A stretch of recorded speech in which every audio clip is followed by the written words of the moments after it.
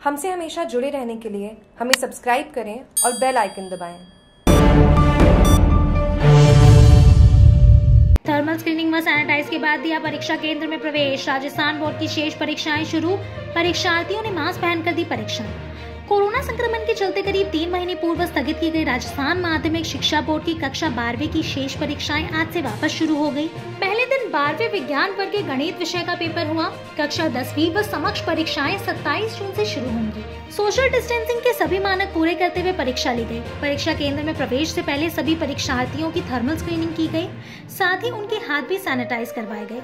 जिला शिक्षा अधिकारी माध्यमिक मुख्यालय डॉक्टर भल्लू राम खीचड़ ने बताया कि माध्यमिक शिक्षा बोर्ड की शेष नई परीक्षाएँ आज से शुरू हो गई। परीक्षा केंद्र पर प्रवेश से पूर्व विद्यार्थियों की थर्मल स्क्रीनिंग की गई और हाथों को सैनिटाइज करवाया गया। इसके बाद ही विद्यार्थियों को परीक्षा में बैठने की अनुमति दी गई।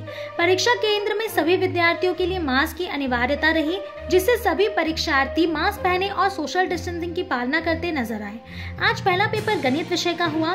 सभी परीक्षा केंद्रों के प्रश्न पत्र नजदीकी थानाओं में रखवाए हैं। दसवीं की परीक्षा उनतीस और तीस जून को होगी। कोरोना वायरस को देखते हुए सभी पर्यवेक्षकों और केंद्र अधीक्षकों को विशेष सुरक्षा बरतने के निर्देश दिए गए हैं। परीक्षा को लेकर स्कूल भवनों और कक्षाओं को पूरी तरह से सैनिटाइज किया गया।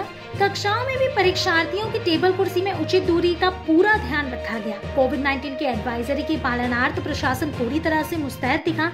सभी के लिए साबुन और सैनिटाइजर की व्यवस्था की गई। परीक्षा केंद्र सहित बाहर भी सोशल डिस्टेंसिंग का पालन कराने के लिए कार्मिक लगाए गए। जागरूक टीवी के लिए जोधपुर ऐसी खास रिपोर्ट।